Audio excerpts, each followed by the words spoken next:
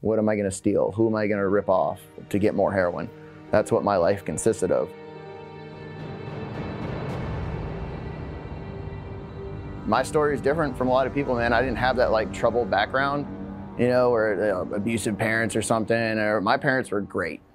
I was born in Ventura, California, and uh, I was four and I moved to Phoenix, nice, quiet place called Maryvale. I started riding dirt bikes like at a young age, man. Like I said, I had everything a kid could ask for, man. I, I got good grades in school. Uh, my dad was a wild hippie, so like polar opposites, but they they were perfect for each other.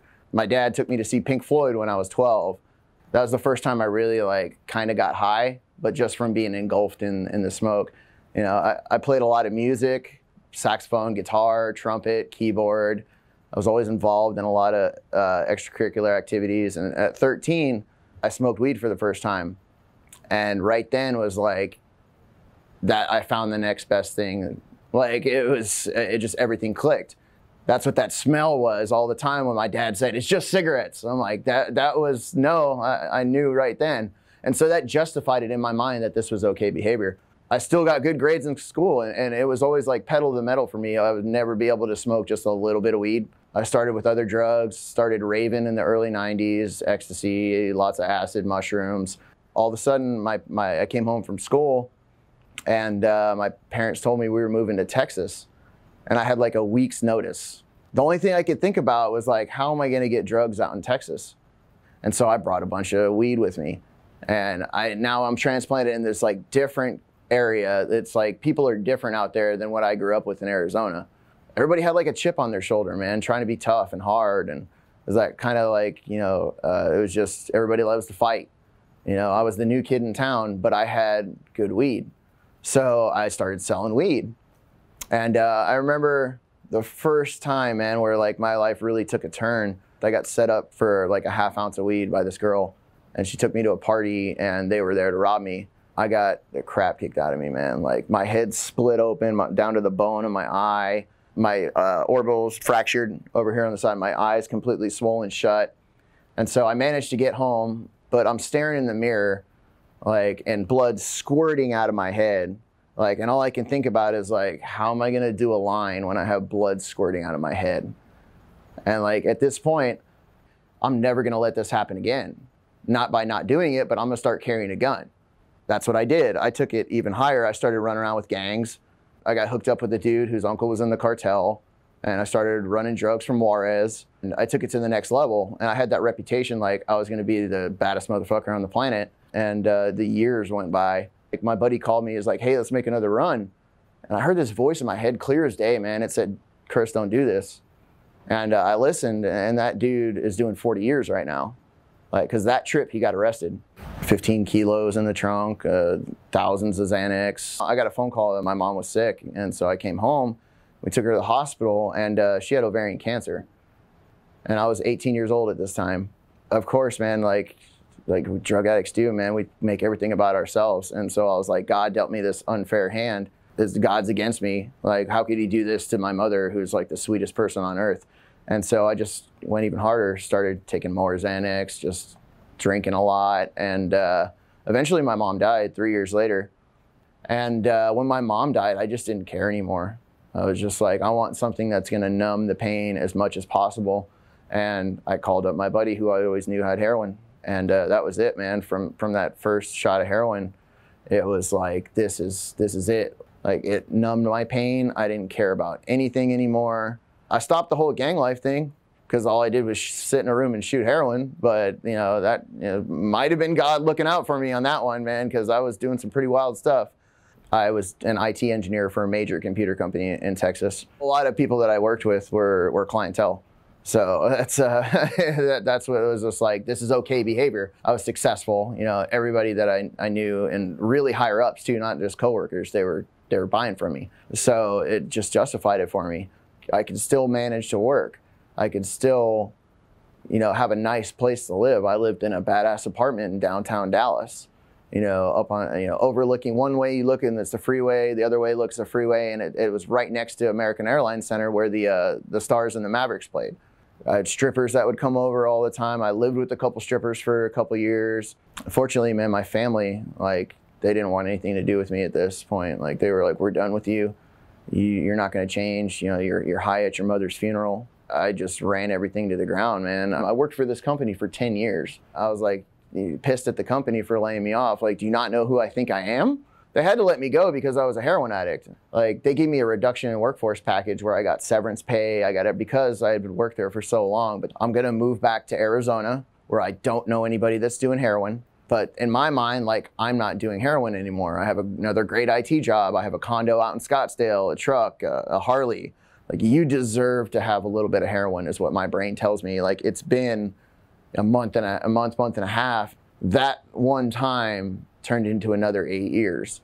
Up until I, I got into treatment, like I hadn't had a day sober since I was 13. I went through numerous other jobs, and, and then eventually I got a job in the IT field working from home, just on my laptop, because I was only engineer who could work on these big Sun Microsystems 15K racks. I get a call like 1 a.m. and they're like, "Hey, you got to go work on this system." I'm like, "Cool, where is it?" They're like, "New York City." I'm like, "Wow, okay, when am I leaving?" Like they're like in five hours. The thought that goes through my mind is, how am I going to get heroin to New York City? I actually went through a body scan machine with heroin in my butt. God somehow intervened and they didn't see it. So eventually I got fired uh, for showing up to sites high. And, and of course I denied it up and down. And they would have sent me to treatment if I would have admitted something. And eventually, you know, I get kicked out. I start living with one of my dealers. I get kicked out of his place because my drug dealer is telling me I need help. He's also a heroin addict. He's telling me I need help. I was doing a lot of stuff where I had no idea what I was doing. Speeding on my motorcycle, I got my license suspended for six years. And so, but I still drove, you know, and then eventually, you know, I got in a car accident and totaled the car. So I couldn't get another car because I don't have a license. And uh, that was it.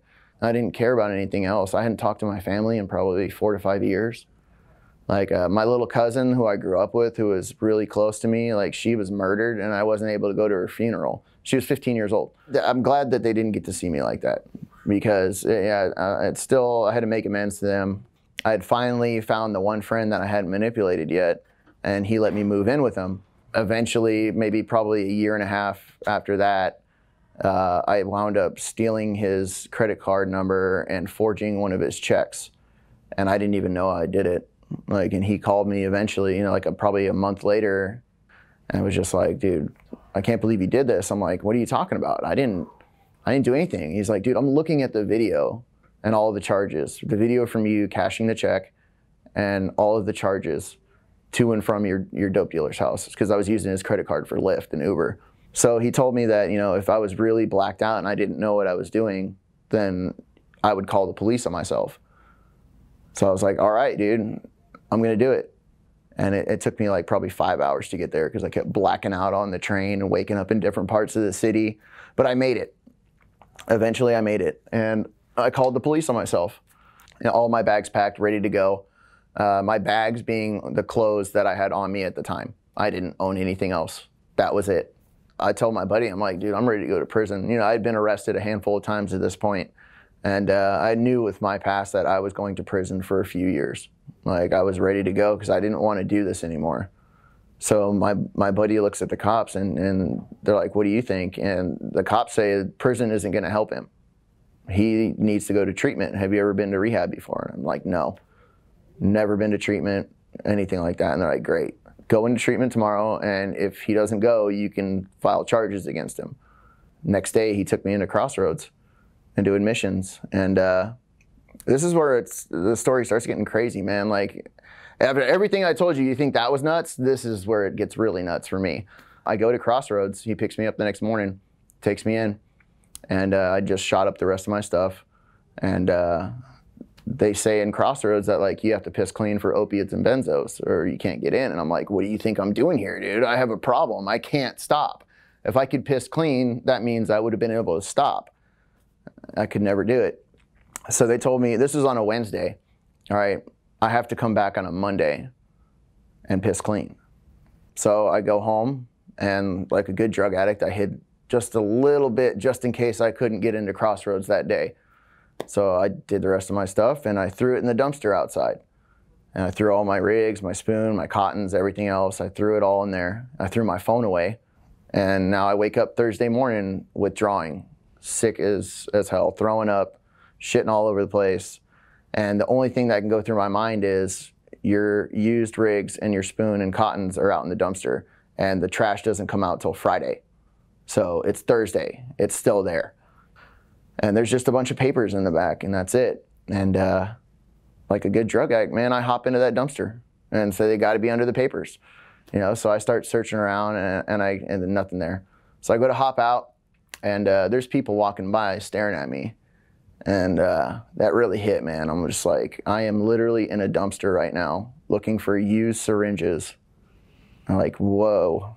Like I get out of the dumpster and I start walking back, and my mind says maybe you threw them in the other dumpster because there's two dumpsters right next to each other. So of course, you know, I, I get in the dumpster and, and look again, and there's nothing in there. So I detoxed on the floor. Somehow I made it till Monday, and I go into treatment at Crossroads, man. And uh, I was that drug addict that this literally happened to. Uh, a dude who I got admitted with, his parents had taken him there. He was a young kid, and uh, she told me later on after graduation that she pointed at me and told her son like that guy is not going to make it because at this point like I'm 185 right now. I was 120 pounds. Like track marks up and down my arms, like you know, open scabs from from from shooting up and missing. So I got a sponsor because they wanted me to. And like at this point, like uh, my family always told me I'm hopeless. Like I'm never gonna change.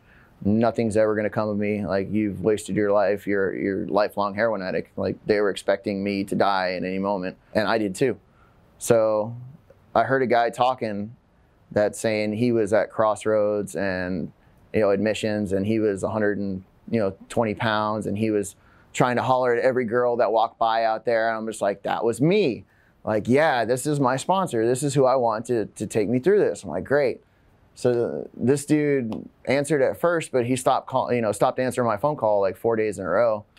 I'm sitting up there smoking a cigarette and I and I turn around and I see a dude walking up and I hear that voice in my head again like clear as day, like I'm talking to you right now.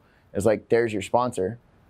I'm like, cool. And he walks up. I'm like, hey, bro, I've been calling you like four days in a row. You haven't answered. And he's like, I'm not your fucking sponsor.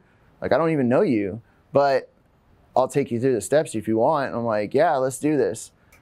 So this started my step experience, man. And uh, through, we started praying, you know, a couple, couple days later, like before one, you know, step two. And uh, this is the first time I've actually like really prayed. Like my prayers at this point consisted of like, God, please get me out of jail right now. I'm so sick and I can't handle this. Like I need to get high. Or God, like please let my dope dealer show up in five minutes when he says five minutes. Like that's what my prayers were. So at this point, like I was actually praying for the first time in my life. Man, it felt good. The next day we're talking and uh, we're eating lunch at Crossroads. My sponsor came up there and he he's telling me how he was in Crossroads like two months before that he was watching a movie on his phone about a gambler. And like, how many gambling movies are out there? How many movies about gambler? Millions of them, right? I stopped him right at that point. I was like, dude, don't you dare tell me it was Mississippi Grind. And he looks at me like, dude, how would you know that? Like, because two months before that, literally the same exact day that he was watching that movie, I was at home and I'm flipping through and I see a movie on there. It's called Mississippi Grind. And like that voice in my head that I hear clear as day tells me, watch this movie. And at this point, I'm like, this is this is fucking tripping me out, dude. Like, this is crazy. Like, I want to see what else happens. Like, this is nuts. I start doing the deal, man. Like, I, I want more of this. There's no withdrawals from this feeling. As long as you do this deal, man, it, it's you don't ever have to feel like that again. Is what they keep telling me. So I'm like, sick, dude. This is awesome. And so at this point, like, I was willing to turn my life over and will and will to God. Like, out of all this that happened, like, my eyes are open now I'm like, dude, this is I just can't I can't go back to that that life anymore because that's not life, man. That was death. That's exactly what I was doing was killing myself, killing other people, hurting other people. That personal inventory of myself, man. Like I was looking at things that I was doing that were fucked up from a young age, and that solution that I look for to feel that like something's wrong was drugs. And uh, so that just proves right there, like drugs were not my problem. Like I can do drugs fine. I did drugs for 23 years straight without a problem. My problem is I don't know how to live sober. It's not just about living sober, it's about being a better person. Working with other addicts and alcoholics gives me a feeling like no other feeling in the world. That's that shot of dope I want to chase from now on. there's nothing better than than taking somebody through that and seeing them you get in touch with their higher power and that having changed their lives. This thing is free that you feel man. It doesn't charge you anything. There's no admission fees. There's no membership dues. Nothing like that man. My family actually talks to me now like which is crazy. I hadn't talked to them in four or five years but i don't have to tell them that i'm sober anymore i don't have to show them that i'm you know tell them i'm doing good and lie about it. They know just by talking to me the way i sound over the phone you know they know i'm not doing drugs anymore. My dad i hadn't talked to him in so long and he was when literally when i told him i was going to treatment he was like what for? It's not going to work. There, there's nothing that i could do to argue with that to say otherwise because 23 years i've tried all on my own never to get you know to any success. And my dad's like one of those tough old school italians who are like you know we we suck it up and bottle it and deal with our problems and if you can't there's something wrong with you but it worked man i've been sober 10 months and, and three weeks and uh, first time in 23 years I've ever had any sobriety whatsoever. And uh, my dad, like, you know, he, he calls me one day, I'm on the phone, and he's like, hey, I got a package coming to your house that's going to be delivered there because I need somebody to sign for it. Just the fact that he trusts me not to go sell that for dope, like, that's a miracle right there. That's crazy to me. Like, I'm just like, I didn't even question it. I'm like, cool, man, awesome, I'll get it. I go home one day and the package is there, but it, it wasn't for him, man. It, he got it. He got me a guitar, like, and just surprised me with it, man. And that was like, that's just like crazy. I used to play music all the time. I hadn't played in years because you know drugs are all that mattered. I was on the phone with him, talking to him, and crying my eyes out. You know, just just bawling like a baby. And uh, I, the first time since I was a kid, man, he actually told me he loved me my family wants me to be around now. My dad actually tells me he loves me. He would never verbalize like that he cared about you. He was quick to tell you when you did something wrong. All right, but never like you're doing a great job, you know, keep it up. I love you, anything like that. So for him to say that, that's like a huge milestone right there. That's just what I cherish every single day, man. You know, I don't have the greatest job in the world anymore. Know, just a job right when I got from treatment, but I wake up every day happy. sometimes to the point it makes my roommate sick because I wake up at 5:30 in the morning just happy to be awake and alive, and uh, I don't have to be dependent on drugs anymore to get through my day. You know, I'm dependent on life. I'm able to be there, and I get to be there, man. I wake up and I get to pray. I get to go to work. You know, I get to be in this room on this camera right now, man, and and uh, those are just miracles, man. That keep happening every day. I don't know where I would be without without recovery, man. Without these treatment centers, they uh, they really help people, man. If you're out there struggling, and you don't know what to do, man, get yourself into treatment, man. There's hope out there. You're better than what you're doing right now, man. Detox to Rehab wants to help as many people as possible and do it the right way. Please subscribe, comment, and like our channel. Thank you for watching.